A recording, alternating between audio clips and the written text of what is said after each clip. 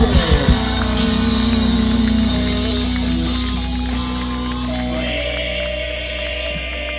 you know that I ain't done the teaching, but I'm gonna